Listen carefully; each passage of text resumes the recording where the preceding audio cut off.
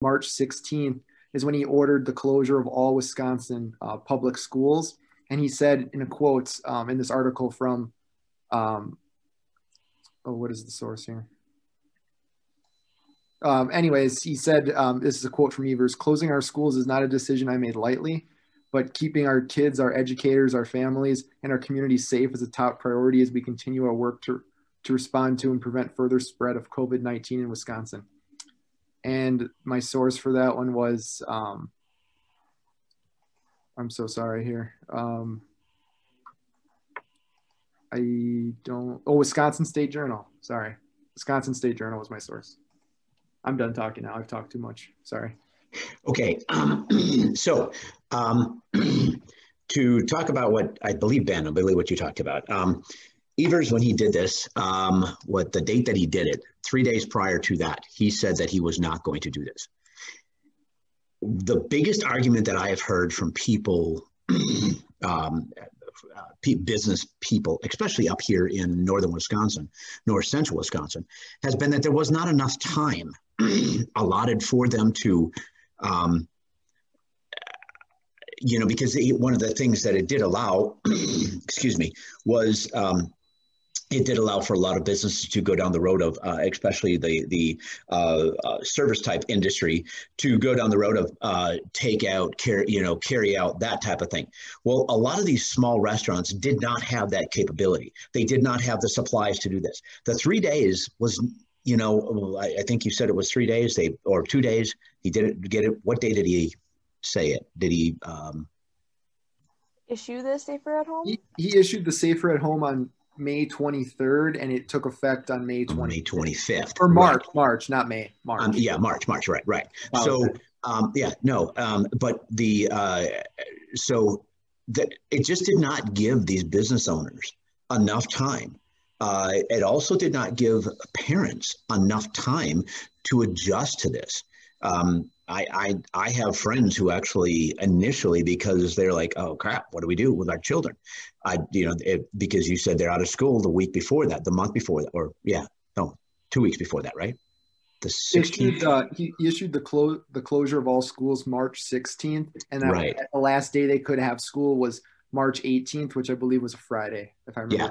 So a lot of those people, they did not know what to do. Uh, and they're, many of them have not recovered from that overall situation. So one of the sources that I actually have uh, is from United Nations uh, Education, um, oh boy, oh boy, Edu- Education, Science, uh, Cultural Organization. Um, and they actually, I'm going to go into the school uh, closure issue here. And um, worldwide, obviously, this is worldwide. Uh, we're, we're, we're talking about there's several different things that um, they're concerned with. Uh, interrupted learning, uh, they, they, they, it definitely impacts uh, their learning, uh, you know, the uh, children learning. Poor nutrition. Many of these kids depend on the meals that they get. They can't do that. Uh, confusion and stress for the teachers. Many teachers weren't prepared for this again parents unprepared for distance and homeschooling. They you know how are you supposed to do this when you have got a kindergarten kid that you know um, doesn't do very well uh, uh, looking at an ipad? In fact i just spoke to a lady uh, friday and she said that finally her children uh, they, the green the green bay public schools they're now allowing them to come back to school because it has proved to be um, such a i don't want to call it a disaster but um, it, it, not good, not good for many of these kids. Uh, they they don't do well. Those that have uh, uh, they they can't sit and look at an iPad for a, a long period of time. Um, uh, challenges, um, uh, uh, gaps in childcare, high economic economic cost because the parents, a lot of the parents have to be home.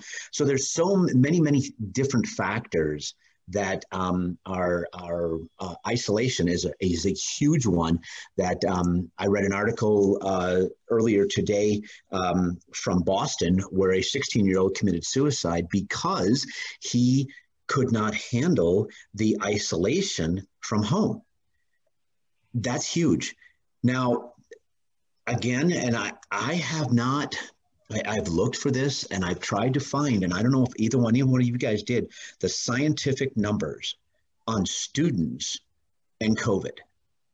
young kids, young, you know, children and in, in, in primary school, uh, you know, elementary and the, that type of thing. I can't find a lot of information about that. Has anybody? I, I actually do have an article. Um, do we, do we want to transition? Because this article kind of yeah, goes I was going with to where say we are that's a today. good transition to our final topic, kind of the reopening of schools and businesses and where we are now. Um, okay, so to go off what Jon said, this is an article, um, again, from the Wisconsin State Journal that it was actually from December 5th of 2020, it just um, from recently, because there are still qu- like quite a few schools in Wisconsin di- and districts that are completely online, even to this Mhm. point. Mhm. Um, it said that Fau- the, I, the article was titled Dr. Fauci sends message to Wisconsin schools. He urged Wisconsin public schools to reopen.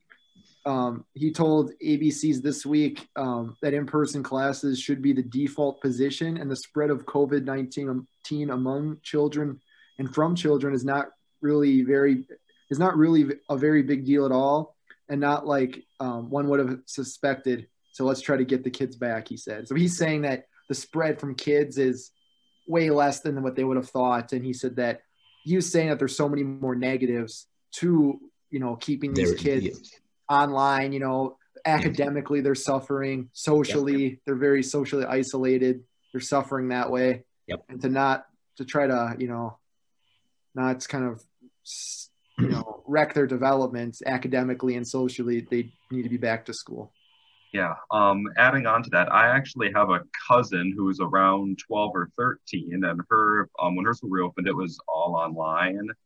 Um, then from how she described her program to me, it sounded like a lot of what they did was actually pretty similar to what kind of how college handles its work in that they basically give you a pile of readings to do and some work to go along with it, a due date, and say figure it out on your own time. Well, you know, for college students, well, the responsible ones, anyways, that works because, in my opinion, I genuinely like to think that we can do that. But but the problem is, my opinion, a problem is when you at, when you put that you know mindset onto a 12 year old or a 13 year old who might not have had the time to develop that same work ethic, time management, and responsibility. I think that could honestly, um, I think that could honestly be a big problem for them academically.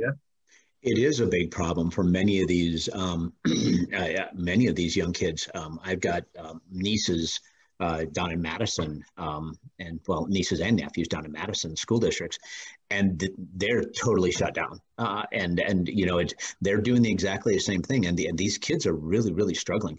Um, uh, one of my co- or one of my nieces was a um, a a level student. I mean, she well a high B's A A level student. She's barely making it right now because she needs that social interaction, that interaction with the teachers, that to to go up and ask these questions. Uh, you know, many people they they don't have the you know um, I don't know I don't know what you want to call it, but the uh, comfort level to to talk on a, in, a situation like this. Um, you know so they don't ask the questions that they need to ask. Um, and and you know the questions that are going through their mind. They also really need like i said that social interaction with other students other other people their age. Um, it, you know it, it's similar to what you guys are experiencing um, there. I, I shouldn't say similar but at least you are able to walk down the hall of, of, your your dorms and your apartment buildings and be in an area where you're actually having that interaction with other people mostly of them your age. So it's it's you at least are getting some of that social interaction. But when you lock a kid up at home um, you know for nine months of summer I, you know they can't handle it that three months is usually too long for them you know they, they get to a point where they get um, so uh, energetic that they can't handle it. I, I, I, don't know if energetic is the right word. No, it's not the right word at all. Maybe it's lethargic. You know what I mean? They just like, okay, you know, I don't know what to do, so I'm just not going to do anything. And that really, really impacts these students. And like I said, my niece is really is one of those that's dramatically struggling because of it. Um, she was, you know, she is a junior this year. She was well on her way to getting some scholarships, and now those are all gone because this year has really, you know, they, they just don't know how to handle it. So. last thing here I want to add is we, because um, I like to try to bring things back to like the timeline. So on, as we know, you know this uh, safer at home, going taking it back to the business side of things, the safer at home order was issued on March 23rd by Governor Evers, but the Wisconsin Supreme Court um, striked it down and ruled it unconstitutional on May 13th of 2020, and Evers said at the end of May he was going to not renew it anyway. So that's kind of when businesses started to reopen.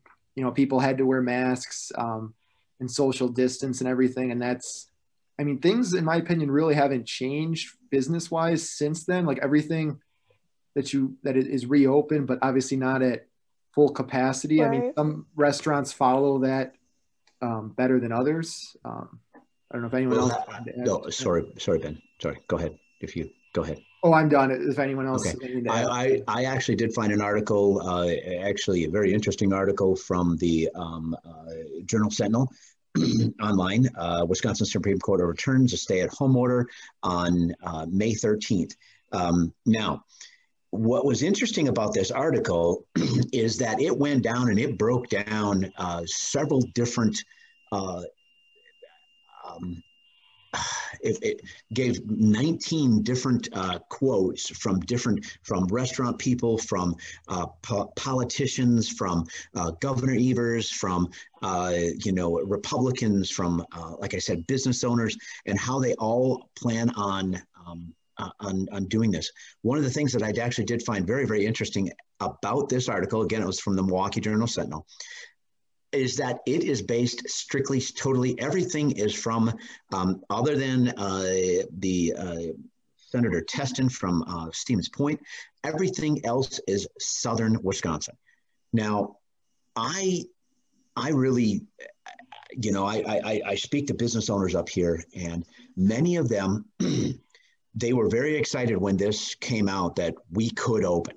However, they all wanted to do it safely and do it. Um, you know, some did open, some didn't. I think what that allowed and gave was was, was positive about this. Uh, the the Supreme Court saying that Governor Evers could not mandate this, or um, not mandate, but make this a law and basically shut everything down. What's that? Enforce it. Enforce it. Yeah, he was not able to enforce it because eh, you know it's it's it's against the constitution now got the state constitution. So that the to to basically tell a business what you can and cannot do to a certain level to that level. Um, it gave a lot of people the opportunity to say hey i need to pay for my food. I need to provide for my family. I'm going to do whatever i can do. Some people went full bore and said screw it bars open you know come and drink and you know do whatever. Be many of them are like that. But there are a lot of them out there who said okay what can i do to still provide for my family, but do it safely. And that I think is, a, is was a very, very good thing. You're right. Evers did say that he was not going to reinforce it. I'm not going to redo it at the end of May.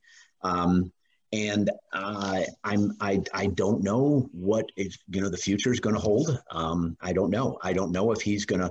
I've heard rumors that there's a possibility he may try to do something again, um, and uh, I don't know if he's if it's capable. I don't my biggest concern with this entire thing is the our our rights. I I don't have a problem wearing a mask. Okay, not one problem at all.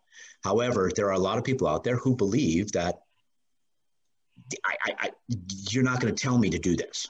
Okay, you, do, you, do you, you see what I'm saying? You, are not going to tell me to do it, but you know, I, like me, I, initially it's like, no, I don't want to wear one.